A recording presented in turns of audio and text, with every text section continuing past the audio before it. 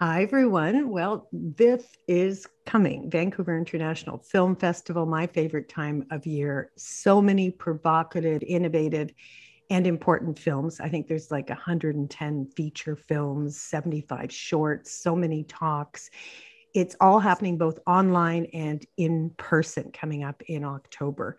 And, you know, I'm glad about the in person because I've missed that, um, especially talking to people in lineups. I love the sense of community that's created where you go well what did you love and someone else goes you know here's what i loved and then you so you change your plan for the day if you're doing a binge because i like i'm a binger um, anyway tickets you can also get and take a look at all the information the program everything else viff.org online um, I think single tickets are like $10. I know that students can get a pass for 60 household. I think um, hundred and something. But imagine that if you're a family and you get a household pass and the kids get to decide, everybody picks a movie and you do a full day of my movie, my movie, my movie, or however many.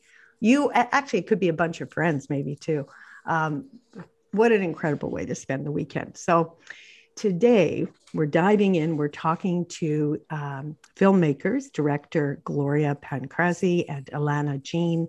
Um, they're two passionate filmmakers who are connected with activists, Indigenous leaders, and renowned scientists to understand the fate of the orcas and find solutions to some of our more pressing environmental threats. Their film that's going to premiere at the festival, Co-Extinction, uh, Gloria is a Canadian documentary filmmaker. She's worked on environmental and Indigenous justice documentaries, including The Country and Impossible to Contain. And after witnessing the impending extinction of the South, the southern resident orcas, she decided to take matters into her own hands and create Co-Extinction, the documentary that we're talking about, in hopes that it would educate and inspire people to take action. Elena Jean is also a Canadian documentary filmmaker. She's based out of Tofino, and she's filmed endangered species around the world with world renowned organizations like SeaLegacy and Milkywire. Her passion to tell stories about hope, integrity, and wild beauty, and to show the in, interconnected patterns of extinction. They're both committed to save the last, I think it's 74 still, southern resident orcas from extinction. So, welcome to the show, you two. Thanks for having us. Yeah, thank you for having us. Um, yeah. As I was telling you guys, I loved this film. I've seen so many films that try to be a call to action, but I'm telling you, yours literally got right into the heart. It covers so many areas, uh, so many issues that are interconnected, but there's such, I guess it's the emotional opening, you know, sharing the story that kind of, I hope, woke the world up a little bit when we had that orca, the J35 carrying her um, deceased baby calf for 17 days on the surface of the ocean. I mean, it was heartbreaking at the time and important, I think, not to forget because we've got to dive into what's going on. And you guys definitely know about that. So, did that event um, personally propel you to make this film? Was the film already in motion at that point? Just maybe give us a sense of, you know, we know it's a code red. You know, the United Nations said so, the climate change report. What, but what was the moment for you two where you just went, okay, I have to do something? Yeah. I mean, for when J35 started to carry her baby, we were just starting to film. So we the, the film was already almost not a year, but like a good nine months in the making. We had done all the pre-production, raised funds to go filming. And then, you know, I don't know if that happened to you, Elle, but like all my friends and family members started to send me the story and obviously like you know when you're in the story you know as soon as it happens that you know that j35 had lost her calf. But so we were already in the thick of it when that happened. Um, and it was a heartbreaking story to to follow and every day just get that extra. She's carrying it for another day. She's carrying it for another day. And you know yeah it was definitely a very heavily felt in the community to to watch that that mother orca just show her grief um, and it definitely had an impact on us. But personally, when it started, I was like, I have to do something about this. Um, I was volunteering for different organizations and I was writing this annual report for Living Oceans. And so I pretty much had like all the bad, like all the really heart wrenching information about the southern resident orcas in front of me, like all the issues they're facing, all the deaths, everything. And it was just like, bam, they're facing extinction. Um, and then going to monitor them on the ground is where I got to like see that on the ground and the mix of the two and my personal like love for orcas ever since I was a kid.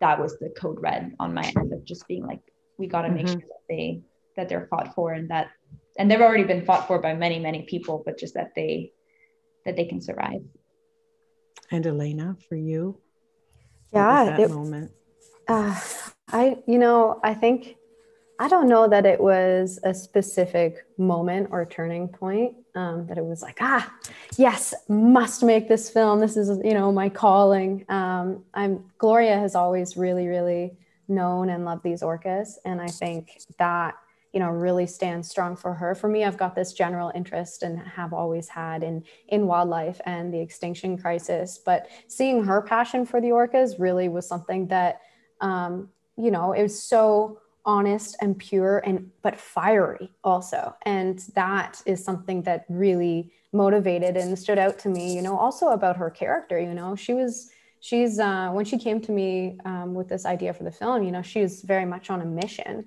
Um, and i think that really motivated me but also you know at the time i was filming starting kind of to film endangered species around the world and take after engineering school taking a renewed interest in conservation work through this organization that i had been building and so it was getting on the ground and seeing endangered species and um, the stories in real life and you know every species has a story that is so connected to their greater environment and what's happening there. And so when I was on the west coast of Canada, um, and I'd met Gloria, and I was filming um, the organization that she was working for, uh, tracking the orcas and taking data on them, and seeing, you know, this happening in my own home country, and that kind of much bigger picture story. I think um, was another massive motivating factor for me. That this was a big story happening here at home, and I think Canada and you know the Pacific Northwest, you know the states too. There's this perception that it's this beautiful, pristine, you know, frontier of wildlife and um, wildness. When in reality, just like so many places around the world, there's some massive um, issues and that that are happening here that need to be addressed. That are causing, you know, I think one of the one of the big things we found in the film as to why the orcas were going extinct and so many different reasons but um, you know just seeing those issues firsthand here in this western country in this perfect place you know um, really opened my eyes. And it's a story that needs to be told and people need to know and so we're going to dive into all those issues because I think some of them people aren't really aware of completely. I know people understand whales are suffering in captivity. I think everybody understands that, but I don't think they understand that they're suffering in the wild. So let's dive in. I mean, there's 74 southern resident killer whales left, and I I heard has it changed already? Today. oh.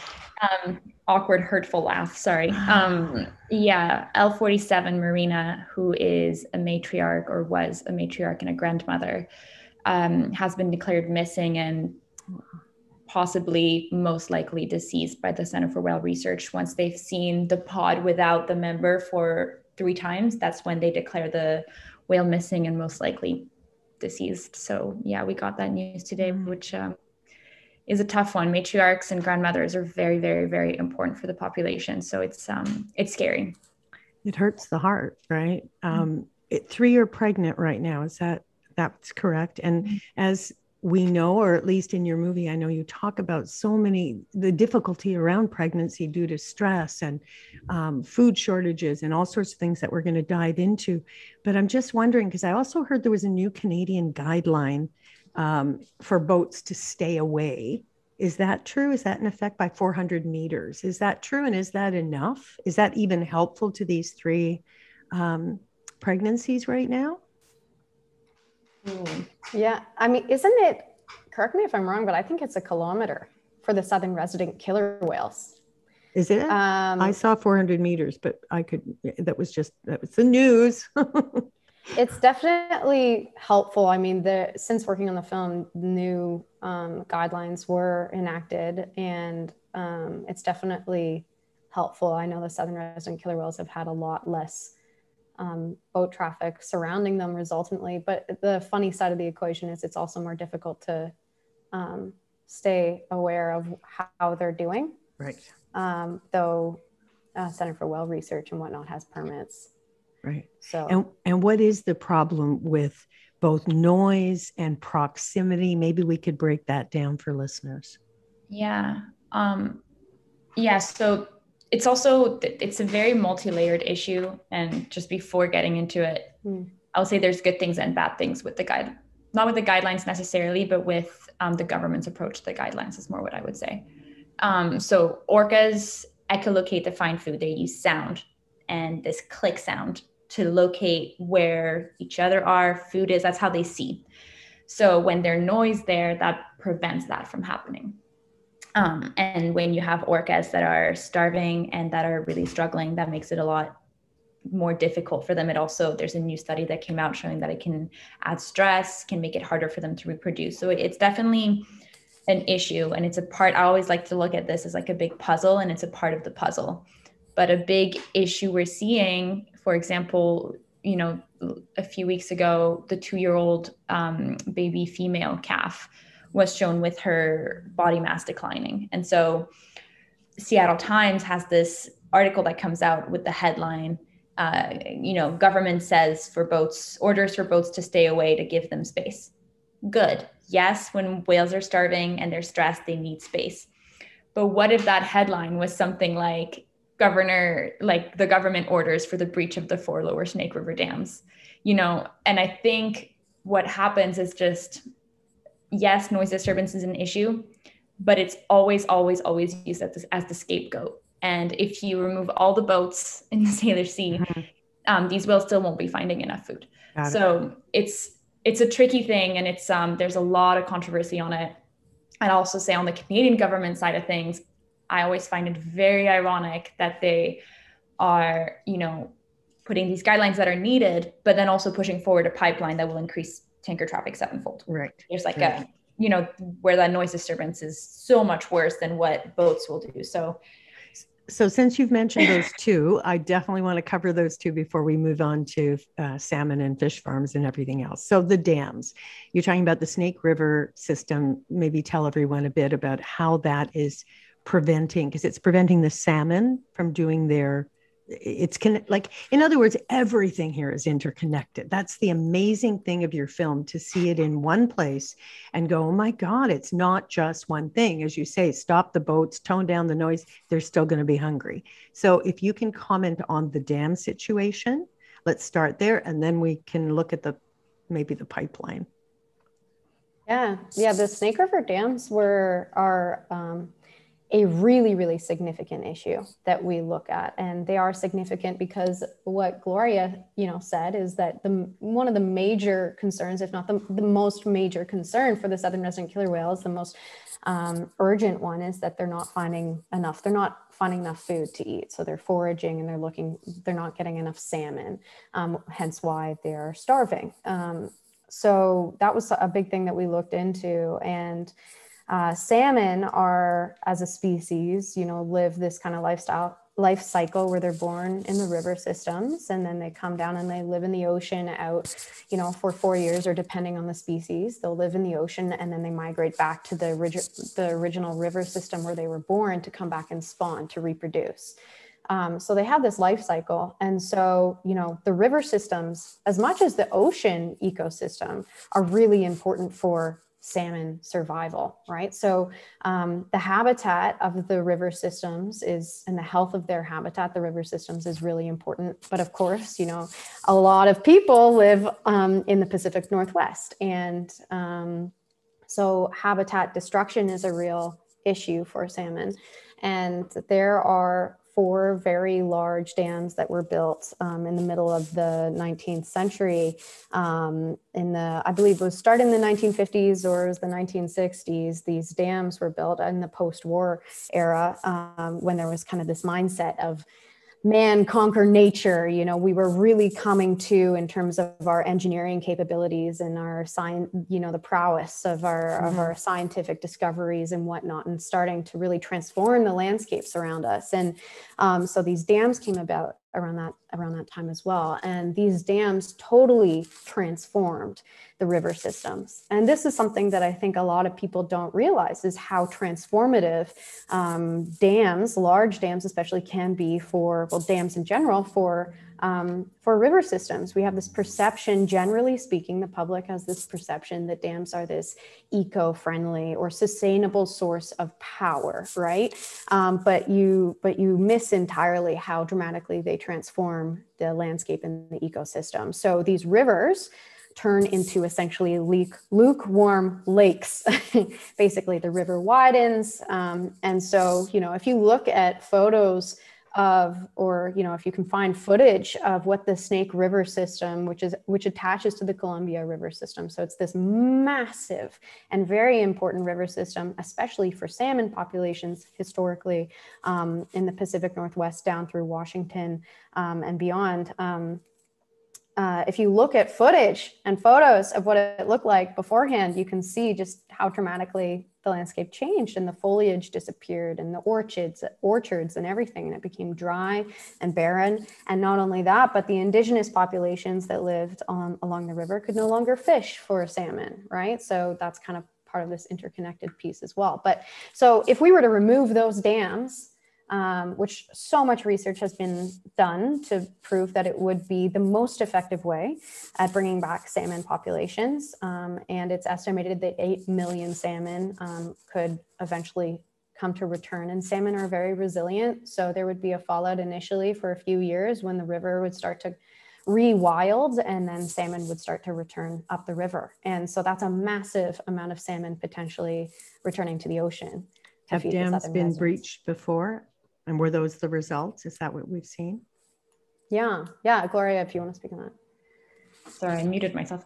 Um, yeah, we've seen this with uh, different dams. A big example of that is the Elwha removal, where um, you know it exceeded expectation, like the salmon returning. And there have been, you know, in the latest latest years, we've worked on this documentary, smaller dam removal that they're taking on. So again, I think it speaks to the government knowing what they have to do, but not being willing to take the big, bold actions, right? Like they're like, okay, we'll take out these small dams. Meanwhile, there's these four huge dams that don't make sense economically, you know, hydropower speaking all of that electricity and it just they're not willing to remove them so and so so this is the states where you know they're saying no we're not going to do that to help endangered salmon is there how do we advocate for that being here in canada what can we do around that?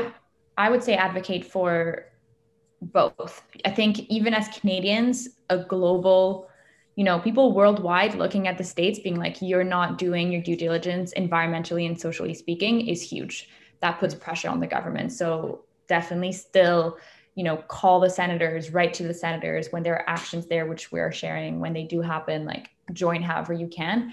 But mm. there are, you know, also if you are local to to so-called British Columbia, there's a lot of habitat restoration projects happening. Uh, there's the very controversial Site C Dam being built. Um, you know, so there's a lot you can do locally as well. Um, Where's that dam being built? Uh, in on Peace River, mm-hmm. which um, we don't know as much about that one as the Snake River dams because we didn't do a film on it.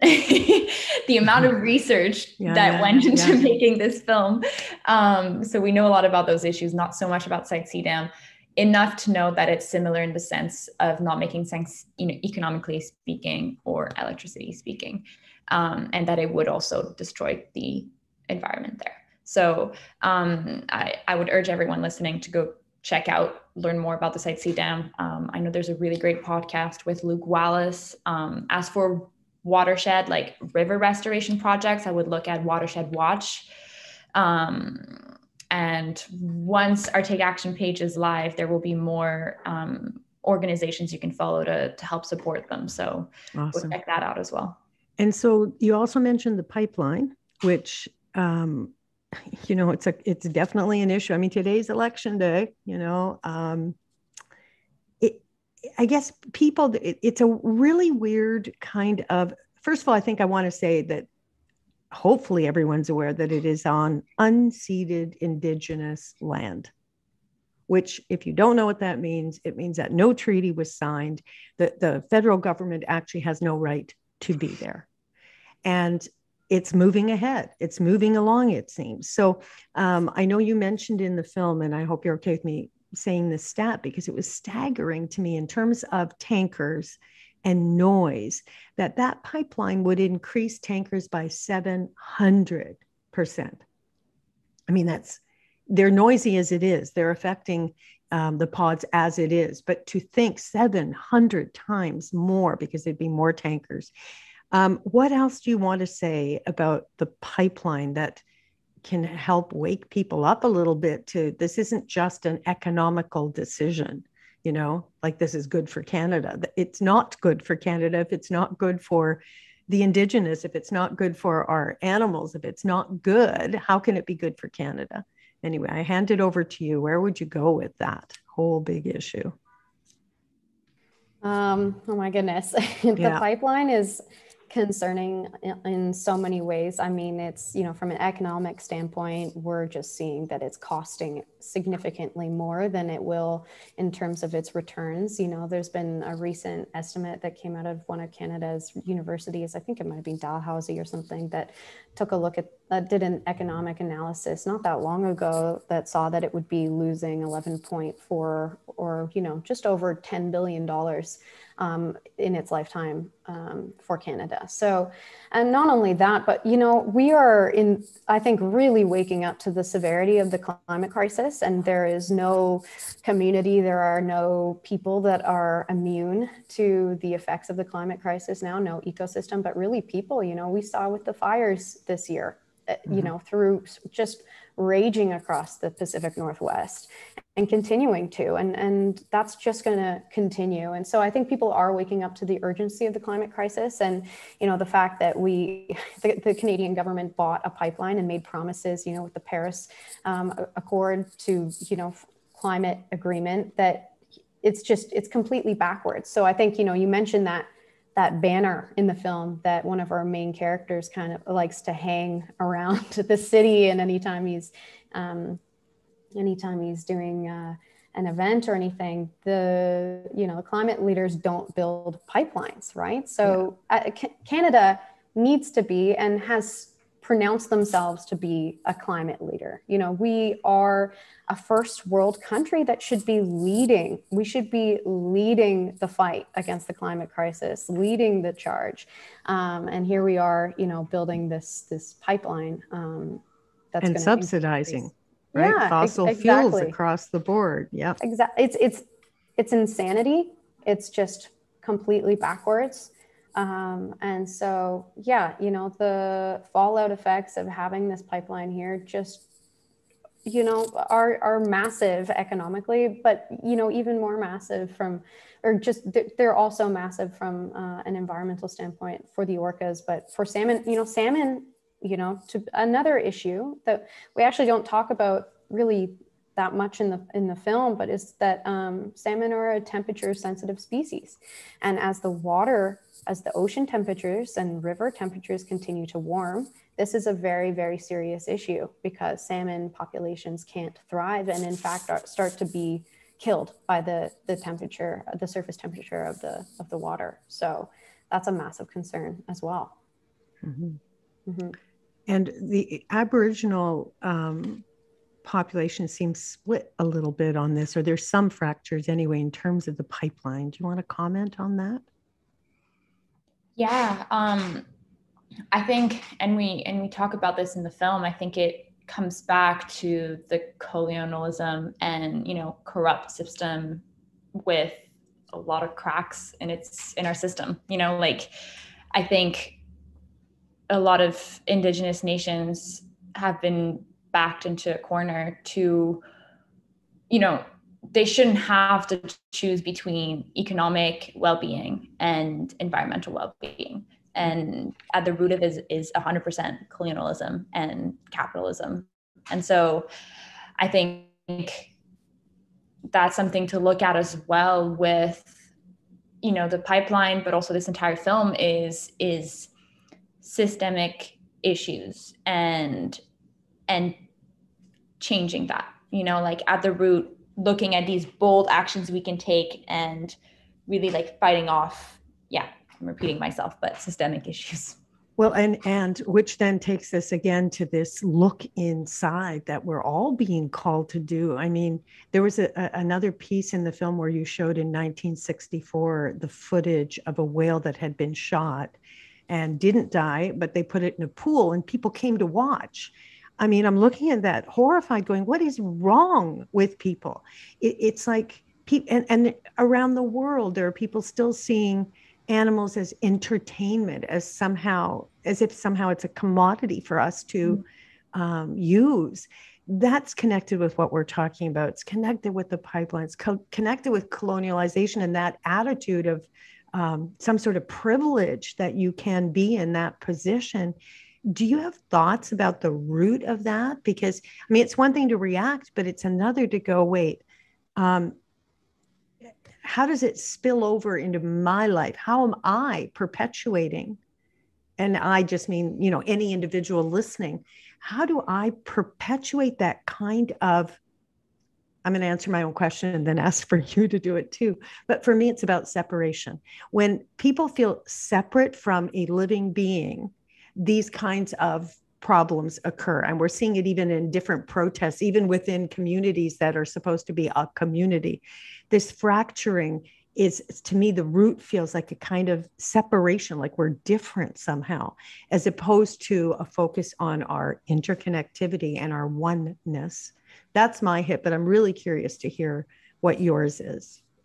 Yeah, I mean, you're spot on. And I feel like Elle will have a lot to say. You're like, we're like, yes, agreed.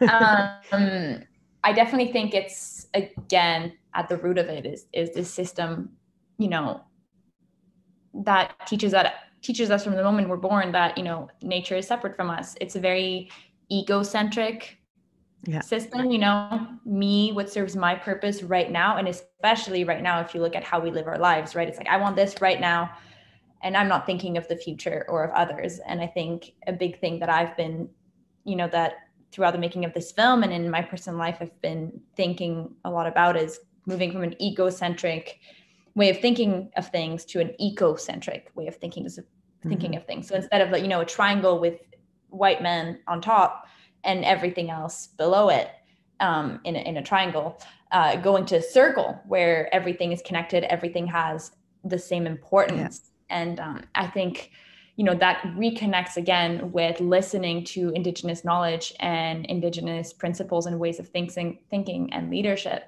Um, and that is key to addressing and to taking on these big issues we're, we're facing right now yeah Elena? You're muted. Your mic's off, I think. Hey. Hi. Sorry about that. Um, I'm just here. I'm talking to myself.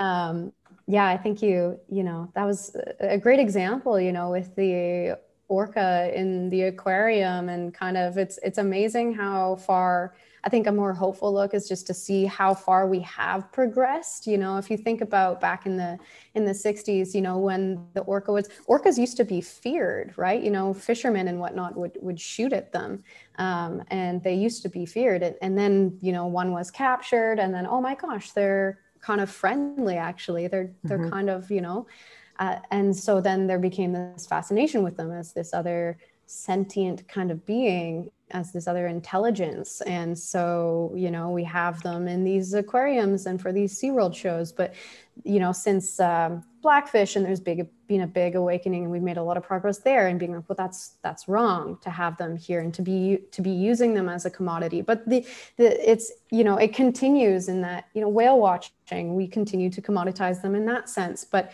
you know, with sam and the other big focus of the film, you know, continues to be commoditized as we don't see it as a living, breathing being. And, um, you know, we live in this very fear driven world where we're very concerned for our well-being and our success and i think that um, you know this capitalist driven society you know everyone and this individualistic driven society everyone for themselves um, if i think people you know without trying to place too much blame on the individual because it is a systemic systemic problem. You know we just live in this fear driven society that makes us the you know so slaves to our economic system um, and this way of being. But uh, we we don't have to choose that. And i think increasingly that awareness around we can't continue to choose it because it equates to our future demise unfortunately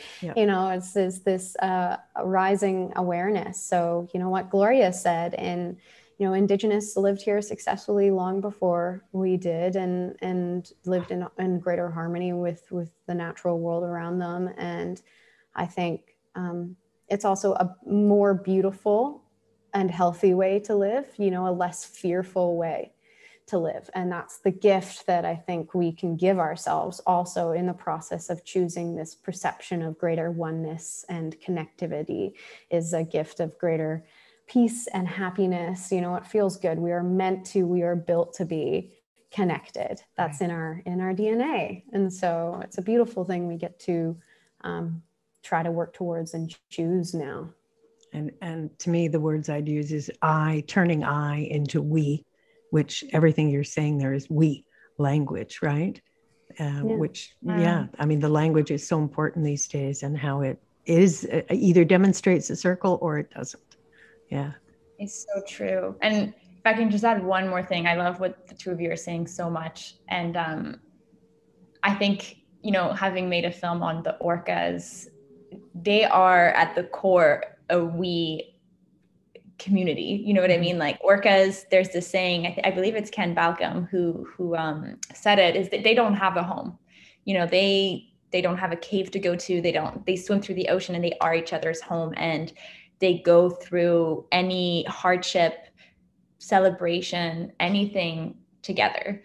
And with a very something with orcas is they have a very strong empathy and emotional intelligence. And I think as like to what you were saying, Elena, another part of like you know fighting that fear-based system and and issues and all of that is is opening up our empathy and our community. Yeah. and there's so much to learn from the orcas on that end. And right. i always think that's a very beautiful i love that. I love that you brought that you know the culture of the orcas is so eh, i don't think people are that aware. And when i know in the film um, that one piece where you talked about the teeth marks. Uh, someone had given birth and there were teeth marks on the baby because another whale had helped the breech birth and get the baby out. Like, I'm just, wow. So there's relationship going on in a big way. And we need to wake up to that, that everyone's relating and, and we're the ones who are blind. I mean, again, back to the whole systemic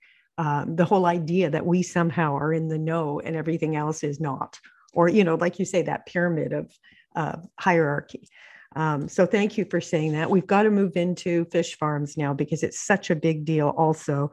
And you know again i learned so much because as much as i knew that i didn't want to be buying fish from fish farms in the store i had no idea that 95% of fish farms and supermarkets are infected with a Norwegian virus. And then I guess wild salmon are also being exposed to it. And the whole industry is Norwegian, seems to be mostly Norwegian, this kind of dirty farming that's being done on land that isn't doesn't even belong to them. So what can we tell us more about it and what we can do to support immediate action? Um, yeah, it's uh, the fish farm issue is an absolutely incredible example of how we have truly commoditized the natural world. And you know it's it i mean fish farms are not dissimilar whatsoever from these big factory farms that you know the veganism movement and and just in general i think the public has gained a greater awareness of um, in the last decade or so. You know, we've got these fish piled together within this open net pen that is leaking all of these toxins and viruses into the environment. It's it's arguably even more frightening than um, from a strictly ecological perspective or environmental uh, pollutants perspective than some of these factory farms on land because you know water is directly transfers things so much easier, right? And we have so, you know, it's one of those classic examples of out of sight, out of mind issues as well too, because these farms are out in, you know, the Broughton Archipelago or all around, you know, uh, Vancouver Island and in the Salish Sea and out on the water, kind of away from um, the eyes of the of the public, um, but within traditional territory of First Nations, of course, because that's okay, apparently. Mm-hmm. um, so yeah so it's a it's a great issue of um, great example of how you know industry has come in uh, large these you know the norwegian industry specifically um, you know, had deals created these deals and and um, um retrieve permits from the canadian government um, to go in and without the permission of um, most of these first nations communities um, many of them um, they don't have permission from and they were just they just built these large factory type farms. Um, and we have seen now um, some there i mean the the research you know we we tell alexandra morton's cover her story a bit in the film and and her, her the work that she's done has just made it unbelievably evident that um, the fish farms are affecting wild salmon populations negatively, not just through the virus, but also through, um, you know, sea lice is another really big issue. And it's amazing because the writing was on the wall even before these fish farms came in. You know, uh, in other places around the world, Norway, we've seen the collapse of wild salmon populations after the arrival and, and continuation of these fish farms. So in, in Scotland and Norway and, and other countries. Um, uh, so yeah, it's it's by by far now extremely evident that they're contributing to wild salmon declines. And and thankfully i think people are starting to pay more attention to this this issue. And we have seen um, the removal of um, and the decided removal from by the government uh, and the public to have these farms removed in in BC. So that's in the coming years. We're going to see a lot of these farms taken out, which is really good. And there's been there's we've seen in the Discovery Islands actually the removal of the farms has immediately made an impact on the wild salmon populations with sea lice. So um, baby salmon were, are showing up with way less sea lice than there was before, and that's a huge huge win it, still seems really slow. Like I, I, the thing I read was 17 fish farms to be removed by 2023, and then uh, 2022 companies would need First Nations consent to farm fish in Indigenous territory, but there's still 109 fish farms supposedly left. Like, yeah. is that right? Is that does that match the your knowledge? Yeah, and I, yeah, that that does match it. Um, I think it's definitely you know the bureaucracy of it makes it slow. Yeah. Um, and I think also something to be mindful. For example, in the Broughton Archipelago, some are already being decommissioned, but I believe it is seven fish farms. Um, could still there could still be a loophole that the companies find a way to keep them in there. So there could still they're fighting to get them decommissioned there. Um, and it's you know tug and pull and I believe they're on their way out. And when I you know like I believe they're on their way out, but we have to keep showing up and keep saying we don't want these there. So a great campaign that was um, led by Alexandra Morton, Tavish Campbell, um, and many other really amazing conservationists was to thank uh, the the Minister of Fisheries uh, for removing for deciding to stand with Indigenous nations and remove the fish farms in Discovery Islands. And so that to be like, first of all, Alex told me this. She's like, just the fact that like we're thinking some a government official is they're not something they're really used to um, so that's really good and then showing them that yes this is what we want like keep doing that mm-hmm. so yeah they're on their way out there's still plenty and I, I, believe especially on the west coast of the island is where they're the least uh, you know big movements happening to remove them uh, if i'm not mistaken and um, and i think it's just uh, to answer your question of like both it going really slowly or you know what can we do yes is um standing with the indigenous nations when they're you know saying we don't want these fish farms in our territories like you know what we saw in the Broughton Archipelago, what we saw in Discovery Islands. This is key, um, and also, you know, don't buy farmed salmon. Um, you know, show face there too. And what I will say is also there's a lot of mislabeled wild salmon. Uh, mis- sorry, yeah, farmed salmon labeled as wild salmon in the grocery stores. So um, how can they do that? I believe it's marketing. Just, yeah. it's, so there's yeah. no law that says you can't. I mean, that's well, false. say local. It will say local. Yeah. yeah. Oh. Or it will say uh, Atlantic yeah, salmon. Pacific. If you don't know that, you know, right. you could think it's coming from the Atlantic, but it's actually like. So what's the best way? You're at the grocery store. I want to be able to do this, and I for sure would be looking at that, going, ah, you know, local like i don't know what what do you think do you think you need to ask do you think you actually need to say to the stores Asking would it be a conversation a with idea. safeway like i think that's a great idea telling your store hey i want to make sure this is uh, where i'm getting my fish from i would say personally what i'm doing because mm-hmm. i it's it's a very tricky issue and um, you also got to keep in mind you know local fishermen that have been here forever and whose job depends on it. You have to think of like mm. indigenous fishermen whose this is their job as well.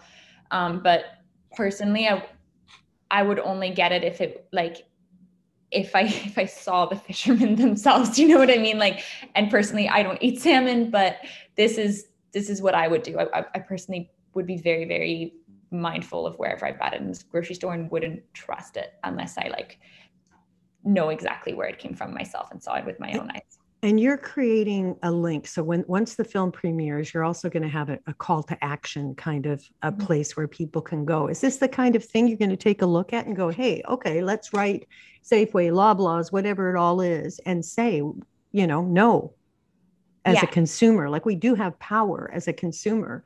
And as you say, we could just stop buying it but on the other hand when you stop buying salmon what at all altogether is there an impact on the local fishermen and you know all it, it, it sort of is complicated isn't it it's yeah. very complicated and i think at the root of it is just transition you know mm-hmm. um, i think no matter what the way we are doing it the way we're fishing right now is not sustainable. Right. Um, and we've done a lot of research on it. It's a very very complicated issue that i don't think i could do it justice just talking about it here. Um, but yeah, just I forgot my train of thought. Well, one thing I wanted to add, if I may, is I was blown away at the staggering amount, the statistic that you said uh, in the film, how much salmon North America eats in a day. Mm. Um, I don't have it right in front of me here, but it, like it was, it to me was almost incomprehensible to think how much salmon that would take to feed these people. And yeah. You know, it's, it's kind of like you're saying, you don't eat salmon. And, you know, where do we draw the line? Because nature doesn't even have enough to eat its own, you mm. know, food chain. Yeah. So yeah.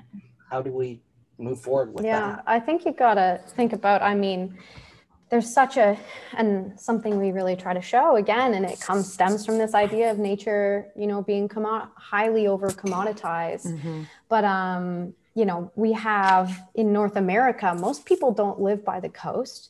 And salmon is perceived as this, you know, very mainstream meat to be eating. When in mm-hmm. reality, the salmon has been trucked from from the coast, and we see this with so many foods. And I think um, you need to just, in general, try to be aware of like where yeah. your where your food is coming from. But um, yeah, it's unfortunate because you know these factory farms enable the mass production of salmon, which is highly unnatural, unnatural, um, and we really don't want to be, um, you know, supporting that, right? Because we know how detrimental it is for wild salmon. So choose not to buy farm salmon, but at the same time, I really believe that if you live in in North America, you're somewhere in the middle and you're eating salmon, even if it's wild, that you know you should question that. That should be a real treat, or you should yeah. really perceive it as a real treat.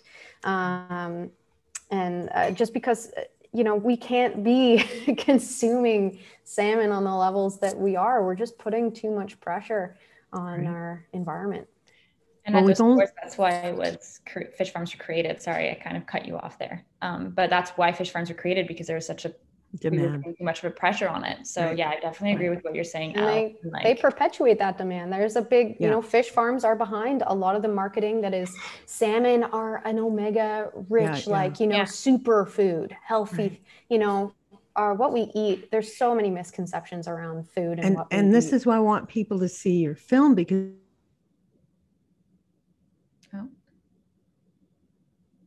and just i mean these are there's nothing happy about this situation. It's toxic.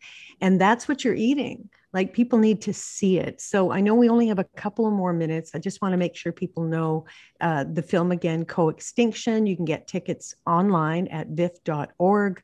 Um, I believe it's screening from October 3rd to the 11th, including some high school screenings, which I was really happy to see because that means the younger folk are going to hear about all this, and that's so important and a live show at the Hollywood in Vancouver Friday, October 1st.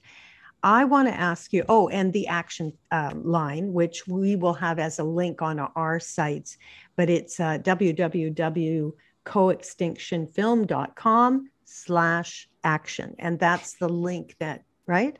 That's what I've got. I believe it's take action. Oh. I've got slash. But I might, I might be wrong. Nope, you'll right. get it right. right. We'll put it you're on right, the site. You're right. I'm sorry. okay. And that's the place to go after you see this film and go, what can I do? Because we've got to keep this going. We can't just be looking at it and feeling, you know, the grief around it all. We've got to take action. We've got to step up. And so, speaking of taking action, this may not be the best note to end on, but I can't sleep with um, this poor orca alone in Marineland. It's Niagara Falls, it's Canada it's in captivity and has been for i don't know 40 years but alone for 11 and it's i think most people have seen the footage on social media of this um, whale banging her head against the tank and the idea being that she's trying to kill herself what's your take on it? And most importantly what can be done? Because they're, they're talking about um, moving her to a sanctuary but there is no sanctuary. There's one being built in nova scotia but it's nowhere near completion. So in the meantime this poor whale is banging her. I mean it couldn't be any clearer. I'm in pain. I hand it over. I, what um, can we do I'll start by saying that it's really heartbreaking, and uh, also that Kiska is not the only one. Um, right. Just because we're talking about the southern resident orcas, um, Tokitae, which was renamed also, but um, she she's a southern resident orca who is alone in um, in Miami Seaquarium. Um, and her mother is still alive. And um, I believe there's also Corky from the northern resident orca population. I don't think she's alone though, but still, there's so many orcas in captivity. And um, and Kiska's video that went around the world, I think, was important to bring that back up to the surface. And I think the first thing people can do is don't buy a ticket. Um, for all the campaigns, that's been such a huge thing. Don't buy a ticket. If you know someone who buys a ticket, talk to them you know, again, not like not fear based and not attacking them, but have a conversation with them, try and show them that other perspective. And um, and then you know, I believe you told us you were doing that, Tasha, but like you know, contact the aquarium, use your voice in that way. That's always also a very great way. I, I don't know what the solution is without a sanctuary yet, but um, still speaking up on that and not show not buying a ticket and all of these things will definitely help and yeah. contributing. I know the sanctuary is open to donations right now. They have a website. So if you just did um, whale, i think it's for whales and dolphins um, and that's in nova scotia and it's going to be quite beautiful. I mean yes they're not in the wild but um, kiska can't go in the wild. It has no teeth from chewing concrete you know in this unhappy situation so sanctuaries are important i think too and we can contribute that way and, and be involved also. Elena, did you have something you wanted to add there? Yeah, no, I just was going to say exactly what you said. I think um, if we can have these sanctuaries set up, that's a, that's, you know, one major barrier removed. Right. It's, it's definitely very challenging to get um, an orca out of a situation like that. We've seen that this kind of fight ongoing for years, but it's just, it's, it's just devastating, you know, to see that kind of behavior. Um, it's absolutely heart wrenching. And it's also not surprising. We've seen this going on now for decades, and it's just past the point of it being okay. And yeah. so I think, um, yeah, I'm glad that you brought it up because it's definitely an issue that really needs to be continued to be pushed on and addressed. And social media, post on social media, keep the conversation going. I mean, with all these things, um, we've got to keep talking. We can't be silent. Silence is consent, and we just can't, right, anymore. Can't, or we should never have, but we did. So now we can't. Um, I so appreciate you two being on the show. I'm really excited about the impact that your film is going to make because I think it will inspire a lot of people to stand up and do something. Um, and so I really thank you for making it and bringing it to the Vancouver Film Festival. Um, any final words before we kind of wrap for today? Anything we missed that's really important that you want our listeners to know? I no, thank you so much for having us, and um, I'm so glad we got to talk about you know the issues at some greater depth. And definitely check out the Take Action page. I think for viewing the film, for seeing the film, um, right now we're in festivals, and so you know in that way, it's it's a little bit tricky for the general public to access. But um, we will be on a platform online hopefully very soon. So um, just stay tuned. If you follow us online, we're on social media and whatnot. You'll um, you can stay in tune with when we're going to be releasing it to the public. Thank you. Anything from you, Gloria? Oh, I'll said it all. Just uh, I'm okay. super excited to get the film out there. Thank you for everyone listening. Um, I changed my mind. Just don't buy salmon if you don't know. Yeah, just don't buy salmon if you don't know where it comes from. okay. Well, just wait till my next. I'm not going to buy any, but I am going to talk to the fish department in my local Good. store. All right. Thank you guys for being.